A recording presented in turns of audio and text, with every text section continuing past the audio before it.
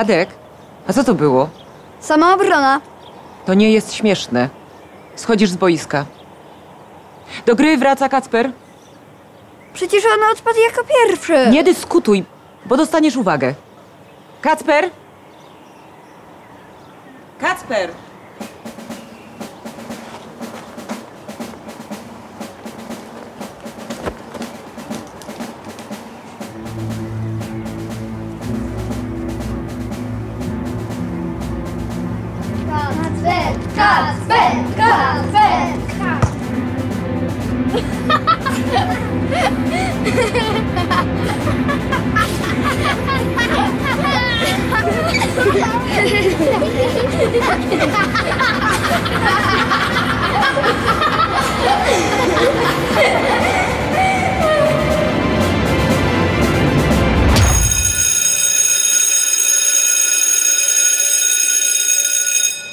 Kacper? Kacper! Kacper! Hej! O, naprawdę mnie przestraszyłeś. Gdzie są wszyscy? Poszli się przebierać. Dostałeś w głowę równo z dzwonkiem. Muszę lecieć. Rodzice na mnie czekają. Jesteś pewien, że nic ci nie jest? Powodzenia w sklepie! Wiesz, filtry, czapeczki. Jakie filtry? Już jestem, jedźmy. Nareszcie. Dlaczego się nie przebrałeś? Szkoda było czasu, przebiorę się w samochodzie. Mm, moja krew, oszczędność czasu. No dobrze. A co ty tam masz na czole? Biłeś się? No, mówiłem moja krew. Nie do końca, dostałem piłką. Biedaczek. A ty jesteś pewien, że się dobrze czujesz? Możemy jutro jechać do tego sklepu. Nie, musimy tam pojechać dzisiaj. Słyszałaś, syna? Jedziemy dzisiaj.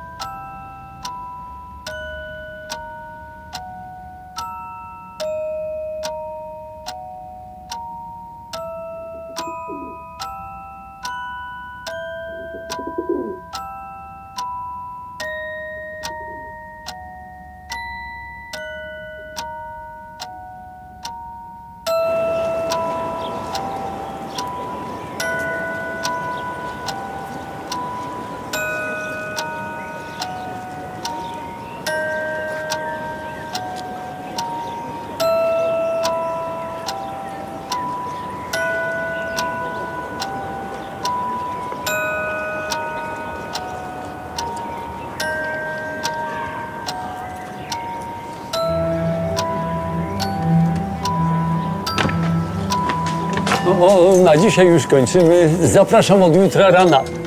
Pewnie a jutro się okaże, że towaru nie ma. No dosyć już z tym szarlataństwem i naciąganiem biednych ludzi. Precz z komuną!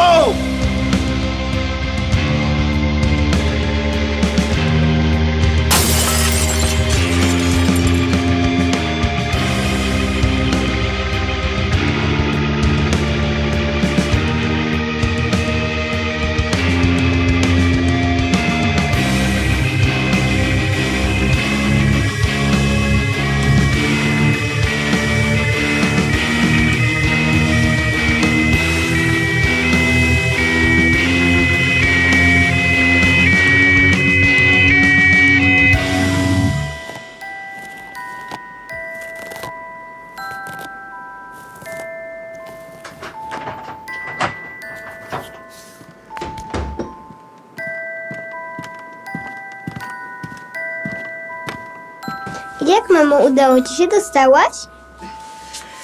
Przecież wiesz, że boli mnie noga. Nie mam siły stać w kolejce. Ale obiecałaś. No to co? Mnie też ludzie coś obiecują i nic z tego nie wychodzi. Nie możesz ufać ludziom. Nie kocham cię. Przestań się wygłupiać. Zaraz coś wymyślę.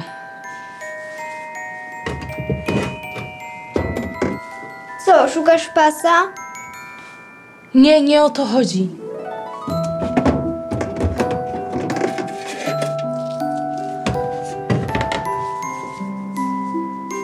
To jest? To jest moje marzenie, ale nie udało mi się go wyhodować. Może ty będziesz miała więcej szczęścia. Dostałam je od twojej babci. Obiecała mi, że jeśli uda mi się je wyhodować, to wszystkie koleżanki będą mi zazdrościć.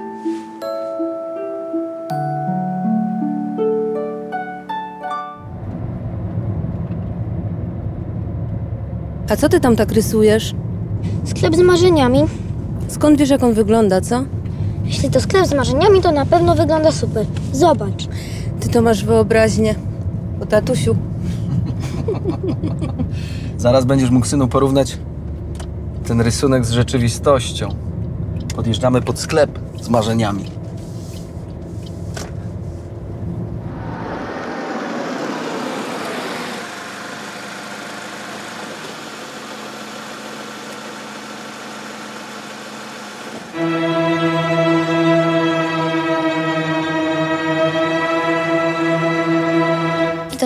Biorą się marzenia? To chyba jakiś żart.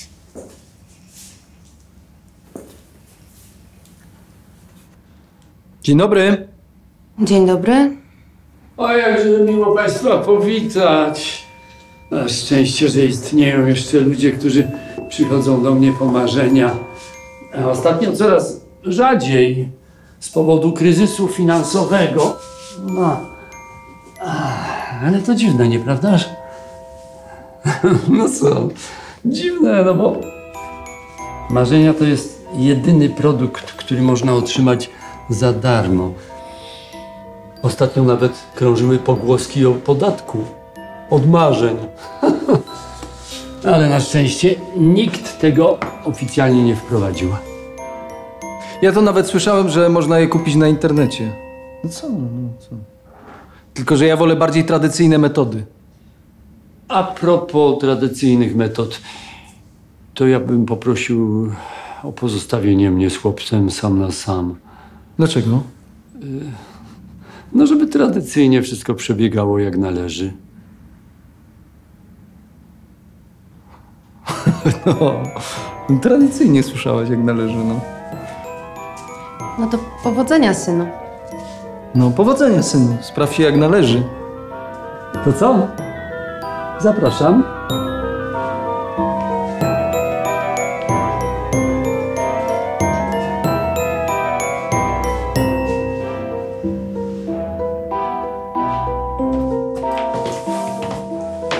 Wiedziałam, że marzenia biorą się z komnaty. Oczywiście, marzenie wystawia się na półkach jak jakieś pluszowe misie. Ma się rozumieć, proszę pana. Trzeba je porządnie chronić.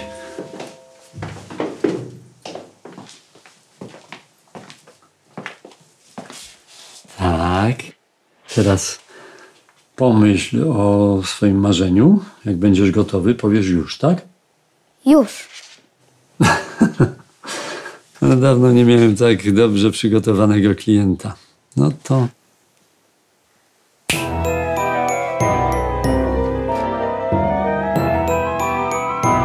Czy to jest moje marzenie? tak, dokładnie tak jak chciałeś. Czy jest pan pewien, że ono jest dla chłopców? Ach, Głuptasie, nie ma osobnych marzeń dla chłopców czy dziewczynek. Marzenia to pełen unisex. Uni... co? W sensie, że nie ma znaczenia, czy jesteś chłopakiem czy dziewczyną, to twoje marzenie i już. A czy mógłbym wymienić swoje na jedno z tych tutaj? Oczywiście. A dlaczego chciałbyś wybrać cudze zamiast swojego? Bo są ładniejsze. To, że są ładniejsze, to akurat jest najmniej ważne. Posłuchaj. One są dla kogoś innego, a nie ma nic lepszego jak własne marzenie, rozumiesz? To, że teraz ono wygląda trochę lepiej, nie oznacza, że twoje nie prześcignie go w konkursie piękności za kilka lat. To jest prawda starsza nawet ode mnie. Czy mogę już wrócić i pokazać im moje marzenia? Właśnie. Biegnij. Bym był zapomniał. To moje oceny. Po co mi to pokazujesz? Mama powiedziała, że żeby dostać marzenie trzeba mieć same piątki. Mama nie wie, że nie każde marzenie wymaga piątek. Niektóre wymagają, ale twoje takie nie jest. Biegnij, bo się rozmyślę.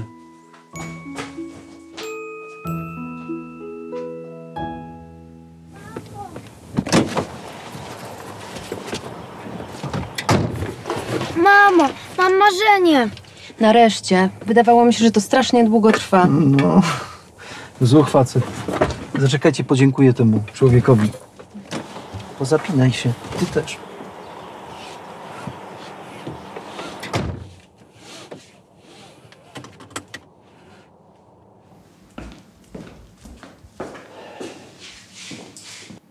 A, wszystko w porządku? Syn zadowolony. No. No, teraz tak. Ale co będzie, jak mu się potem nie spodoba? Dałby pan jakiś paragon w razie reklamacji. Co proszę? No paragon, fakturę VAT albo coś. Nie wytrzymam. Fakturę ma na marzenia. Nie, marzeń nie oddaje się do reklamacji. Co? Zapomniał wół jak cielęciem. Wariat. Wariat, wariat. Ale szczęśliwy. Eee.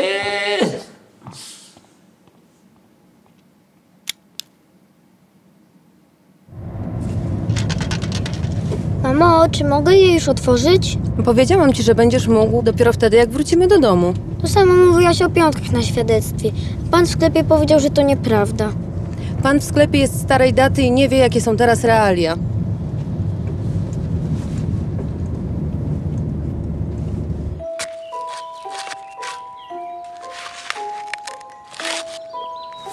Taka dziura wystarczy? Myślę, że wystarczy. No a teraz otwórz to swoje pudełko. I to wszystko? Tak wygląda moje marzenie. Przecież ja nie lubię fasolki. Ależ synku, przecież to marzenie musi dojrzeć. No już, zakop jedno. Ale jak mam wybrać które? No to może zrób tak jak ja z mamą. Wybierz to, które akurat wydaje ci się ładniejsze. Dlaczego to wszystko jest takie skomplikowane? Chyba nie mam do tego cierpliwości. Nie ma cierpliwości, nie ma marzenia. Zakop.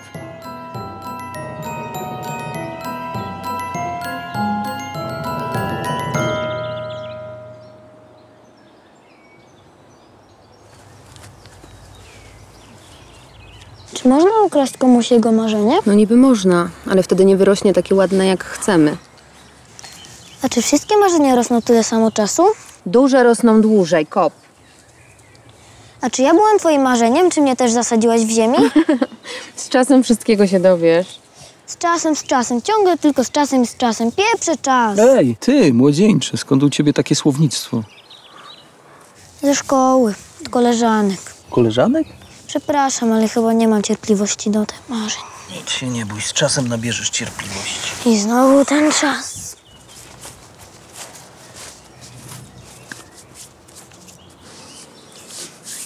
I co o tym myślisz?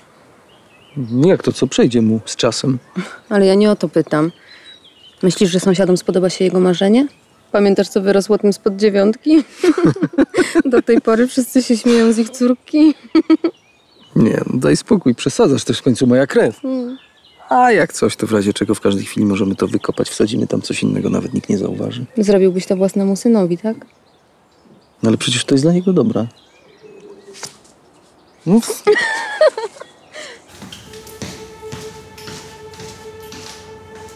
Kacper? Wszystko w porządku? Bo wyglądasz na smutnego. Dostałam jedynkę z plastyki. Jedynkę? Ja widziałam twoje prace na wystawie i uważam, że no nie masz się czego wstydzić. Mam tego. Nie rozumiem. Pani powiedziała, że marzenia tak nie wyglądają. To znaczy, że twoje też tak nie wygląda? Nie wiem, nie wyrosło mi jeszcze. Kacper, Powiedz mi szczerze, czy ty kiedykolwiek wierzyłeś, że ono wyrośnie? Nie do końca, przecież ciężko uwierzyć, że z takiego małego ziarenka może wyrosnąć marzenie. Owszem, ciężko, ale jeżeli nie będziesz w to wierzył, to wtedy ono nigdy nie będzie miało nawet szansy wyrosnąć. Tak pani myśli? Ale ja nie myślę, ja to wiem. No dobrze, jeśli tak pani się podoba, to proszę je sobie wziąć.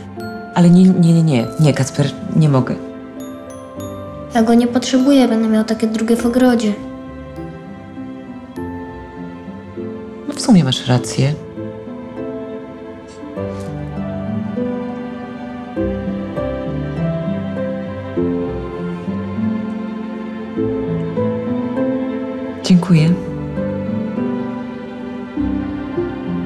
Szybko do szatni, zaraz zaczynamy właz.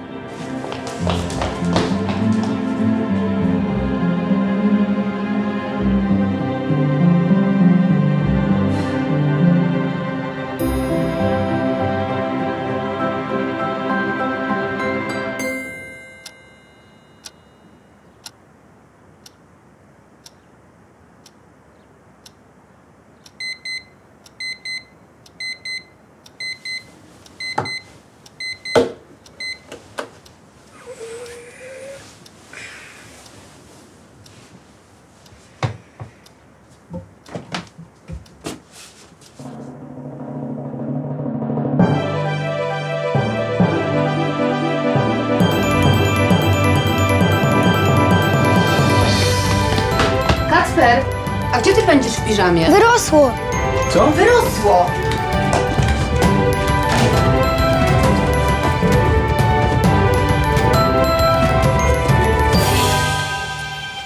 No widzisz, mówiłam, że prędzej czy później wyrośnie. No, zuch chłopak. Proszę, proszę, przez ciebie muszę oddać Kamilowi 20 zł, bo założyłem się, że jak wyrośnie, to będzie brzydkie. A w dodatku jest damskie. Ono wcale nie jest damskie.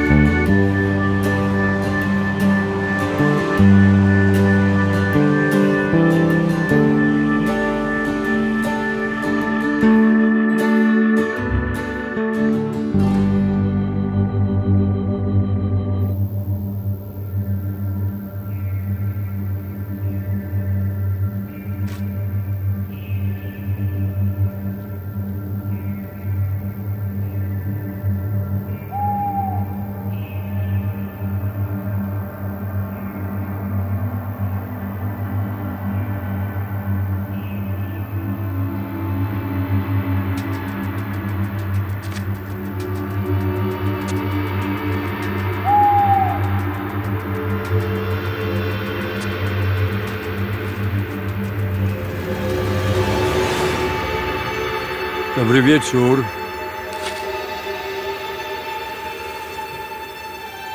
Dobry wieczór.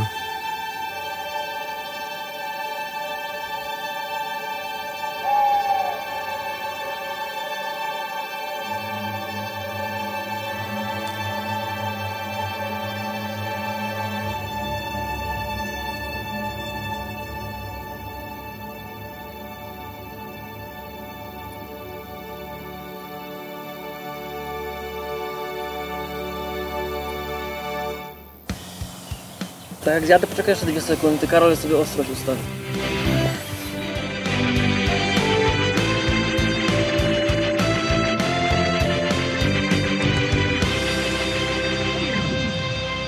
Witam Państwa bardzo serdecznie w kolejnym odcinku programu Marzenie Dnia. Dzisiaj naszym gościem specjalnym jest Katper, właściciel jednego z najpiękniejszych marzeń na świecie. Katprze. Dzień dobry. Dzień dobry. Katprze, Twoje marzenie przyjeżdżają oglądać ludzie z całego świata. Czy możesz zdradzić naszym telewidzom, jak udało Ci się wyhodować takie cudo? To proste. Wystarczy słuchać zwariowanego sprzedawcy z wąsem. Brzmi tajemniczo. Ale nie dziwić się, że nie chcesz nam zdradzić swojego sekretu. Jest z nami także ojciec Kacpra. Dzień dobry. Dzień dobry. Dzień dobry. Proszę pana, czy. Czy spodziewał się pan? Czy spodziewał się pan, że to właśnie pański syn będzie właścicielem jednego z najpiękniejszych marzeń świata? Oczywiście. Ja zawsze wierzyłem w syna i jak to, to y, wyrosło, to wiedziałem po prostu, że z tego już w niedługim czasie wyrośnie coś bardzo spektakularnego. Spektakularnego. Cudownie. Nie ma to jak kochająca się rodzina. Kacprze, czy jest jeszcze coś, co chciałbyś powiedzieć naszym telewidzom na końcu tej cudownej rozmowy? Dbajcie o swoje marzenia i bądźcie cierpliwi. One nigdy nie ulegają przeterminowaniu. I właśnie tym optymistycznym akcentem kończymy dzisiejszy program. Do zobaczenia.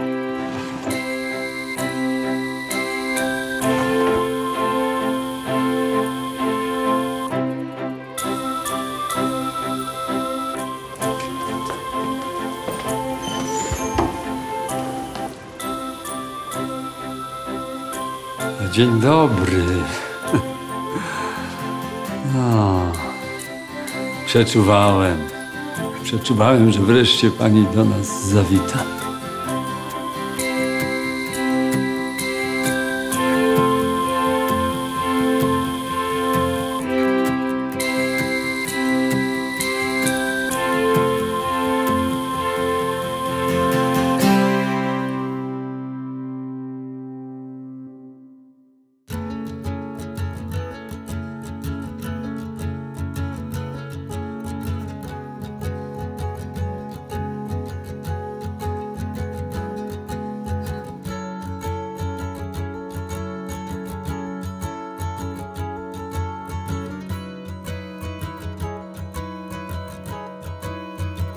Kiedyś mi powiesz, kim chcesz być. Zapytasz mnie o zdanie. A ja uśmiechnę się przez łzy. Czy jeszcze to zobaczę? Kiedyś nauczysz się, jak żyć. Pewnie dumna będę. A dziś po główce głaszczę cię i chcę, byś zawsze już był